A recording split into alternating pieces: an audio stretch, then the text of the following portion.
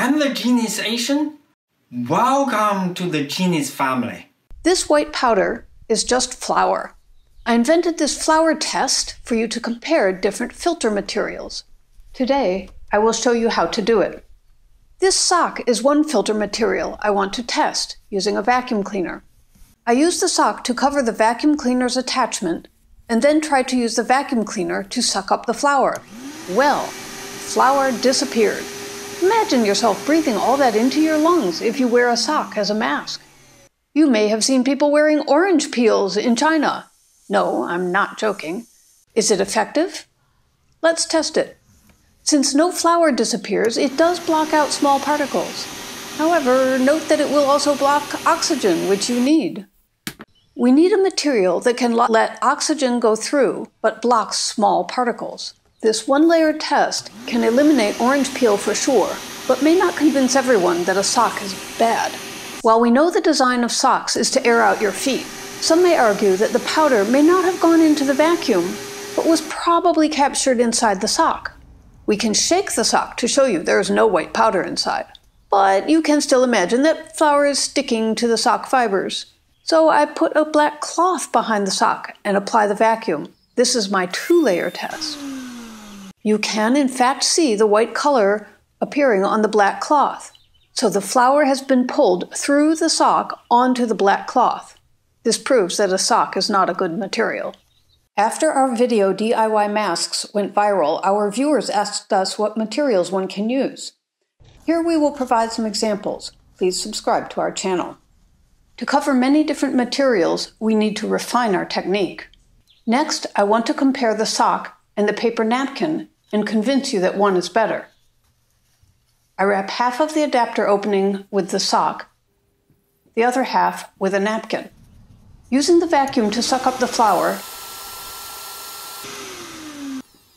see, the sock half has more white color.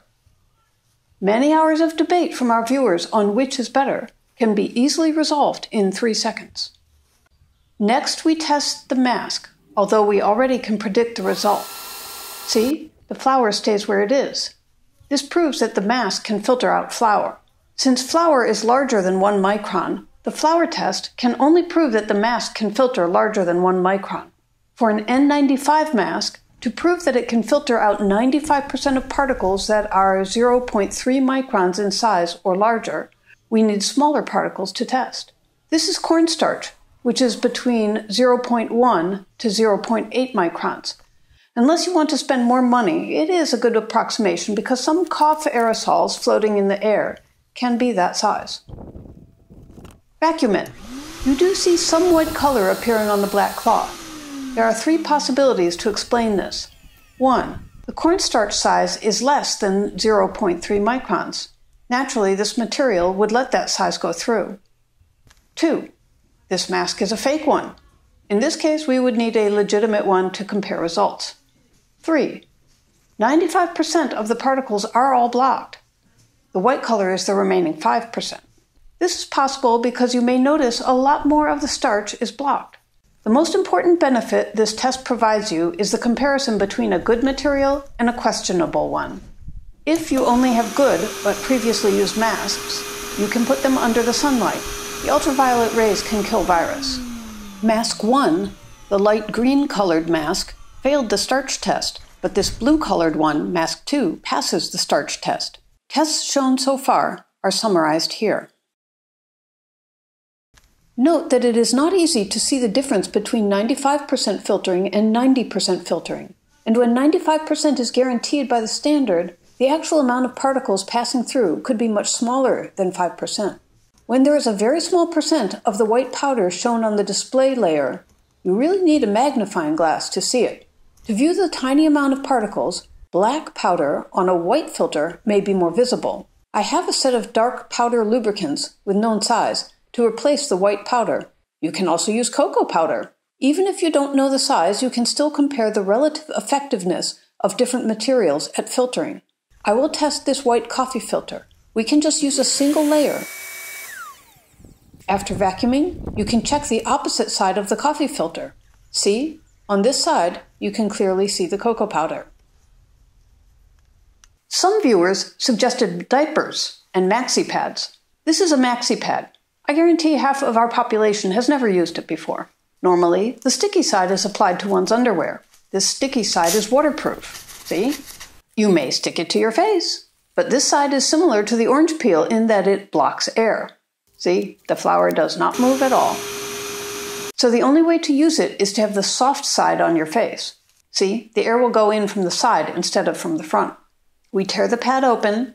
There's a thin sheet covering cotton ball like fibers. I just test the thin sheet. It passed our flour test. It failed the cornstarch test.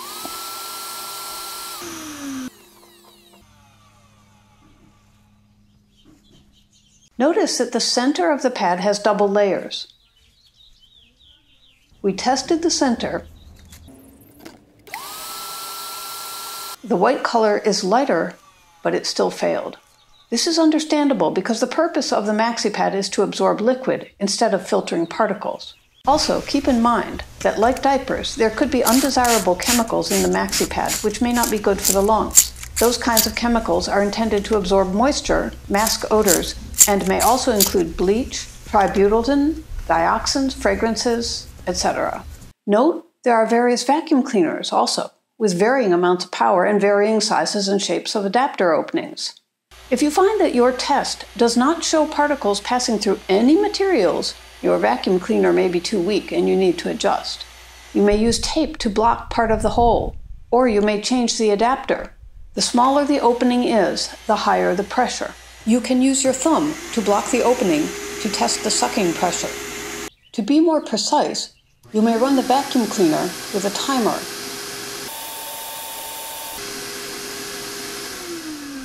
Again, since we don't know the exact size of the starch particles and we can't control the pressure of the vacuum to approximate industrial test standards, usage of this method needs to rely on the relative measurement to compare relative effectiveness of different materials rather than claiming the precise standard or particle size a filter material has.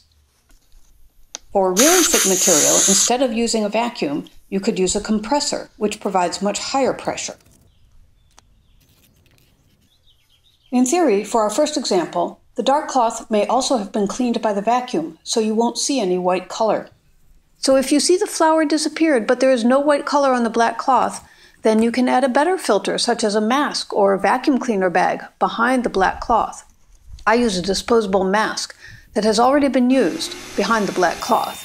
See, the flour is on both sides of the black cloth. Now, this three layer test convinces you 100% certain both a sock is not a good idea and the mask is a better one.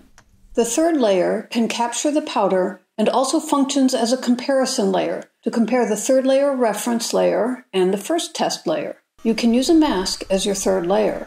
Other known reference filters you can use are the vacuum bags and HEPA filters. The functions of the three layers are shown here. Depending on your goal, you may choose which layers to use. In our previous video, we also demonstrated a water test because when the droplets land on your mask, the mask needs to prevent them from seeping through. The difference between a medical N95 mask and an industrial N95 mask is that the medical version can repel water. A viewer commented, an N95 mask can filter 95% of particles that are 0.3 microns in size or larger. Since coronavirus is only 0.1 microns, smaller than 0.3 microns, thus the mask is basically useless. The answer is that while coronavirus is 0.1 microns, the droplets are larger than 0.1 microns. When you have a mask that can repel water, it minimizes the probability of infection. I have seen many crafty people making colorful and pretty DIY masks without materials having been tested for effectiveness. I know this invention won't get a Nobel Prize, but I would be pleased if you can share this video because you may help save many people's lives at the time when they really need it. This video can also be used to check filtering effectiveness for things other than masks. For example, you may have seen some DIY video about vacuum cleaner bags being made out of old t shirts. It may catch a lot of stuff, but after watching this, you can picture how much dust is getting back into the air.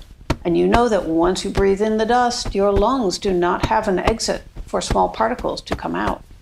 Share this with people who you know that need it. Leave your own genius tips in the comment section below. Don't forget, I'm the Genius Asian. Subscribe for more useful videos.